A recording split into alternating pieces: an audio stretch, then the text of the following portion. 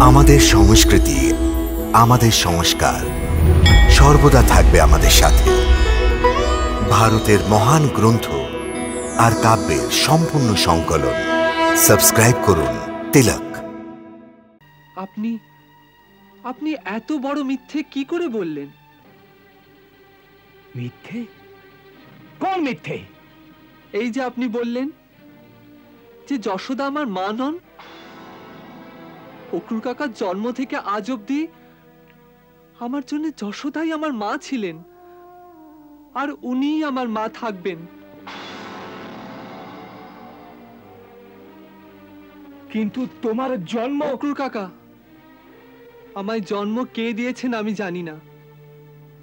কিন্তু আমার স্মরণে প্রথমবার আমায় নিজের পুত্র বলে যিনি ডেকেছিলেন তিনি আমার যশোদা মাই ছিলেন। যিনি আমায় কোলে বসিয়ে মমতার দুধ পান করিয়েছিলেন, যিনি আঙুল ধরে আমায় চলতে শিখিয়েছেন, তিনি তো আমার যশোদা মাই ছিলেন, অক্রুর কাকা।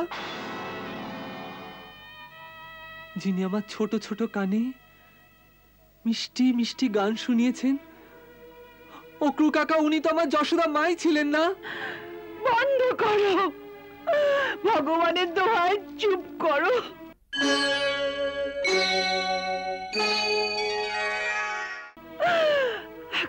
ছুড়ে চালিও না আমার হৃদয়ে। এখন এসব কথা আমায় শুনিও না। ব্যাস শুনিও না আমায়। যশোদা যশোদা। আমি মরে যাব। যশোদা। আমি মরে যাব। যশোদা!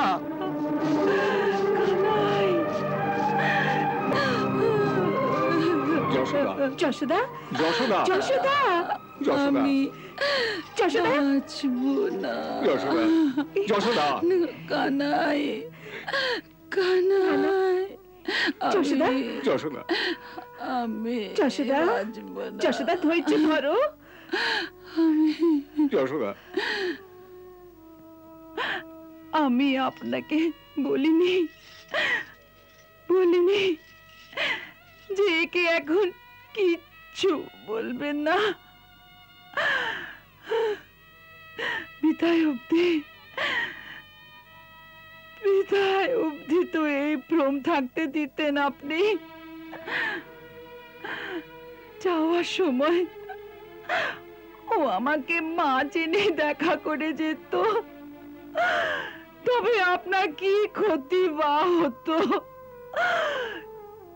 আপনার কি ক্ষতিটাই বা হতো। তবে পরে গিয়ে না হয় ওকে সব বলে দিতেন।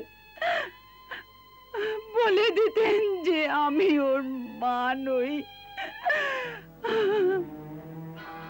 এমন কেন করলেন আপনি আমার সঙ্গে? কেন? না মা, না, এ সত্যি নয়। এ মিথ্যে কথা এ সত্যি নয়, মা। এমন মিথ্যে কথা ইনি অন্য জায়গায় বলতেন, তো আমি মানতাম না। আর না মানতে পারি। মা, ও মা, আমায় বিশ্বাস করো। মা, আমি যেখানেই চলে যাই, আমার কর্তব্য আমাকে যতই তোমার থেকে দূরে নিয়ে যাক, কিন্তু যতক্ষণ এই ধরনীর ওপর আছি, যেখানেই থাকি, মনে মনে তোমারই পুত্র থাকব আমি। তোমারই পুত্র থাকব মা। মা।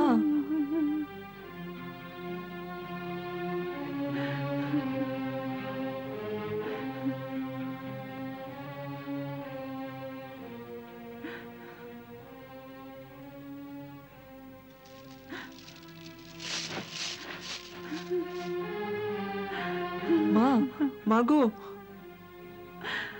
মা। ও মা, আমি তো তোমারই পুত্র মা। আমি তো তোমারই পুত্র। আমার মন রাখার জন্যে সব সময় মিথ্যে বলে এসেছিস তুই।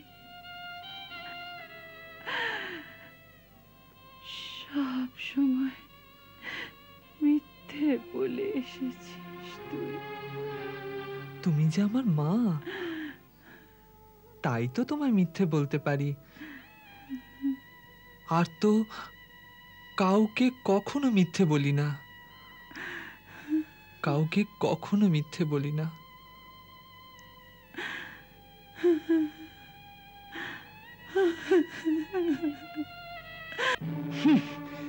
বলরামের জেদের জন্য সারা যোজনা ওলট পালট হয়ে গেছে। এবার কোনো দ্বিতীয় যোজনা প্রস্তুত করতে হবে। শোনো সব সাথীদের বলো যে সবাইকে ওই ঘাটের আশেপাশে লুকিয়ে থাকতে যেখানে স্নান করার বাহানায় আমরা থাকব। আর অন্য তীর থেকে আমাদের সাথীদের সংকেতের প্রতীক্ষা করব। যথাজ্ঞা। যাও!